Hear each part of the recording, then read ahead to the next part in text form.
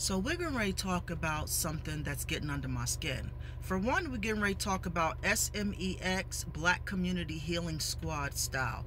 All that little lesbian show that they gave y'all on BET, that's because women are inherently lesbian. I said what the F I said, but I want to talk about why unhealed women say they're grown what they're really talking about. They're not talking about 401k. They're not talking about how they had to do two shifts back to back and still get up and do this with the kids and this, that, and the third. And they're so tired. They're not talking about those boring grown people things. Most oftentimes when loud, unhealed women go, baby, because I'm grown. When they say that, they mean their sexual war stories. That's what they mean.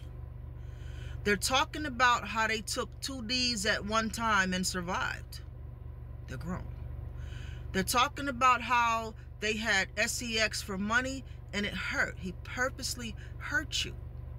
And you survived it. And you went home and your stomach was hurt. And you had to drink hot soup for two days to get your shit right. These are the things why you say that you're grown. You mean you're traumatizing sexcapades that you have survived. So we can rate open this sex door. We can open this fake lesbian door and all of that is what we getting ready to do. If it don't apply, then I suggest that you hoes let it fly.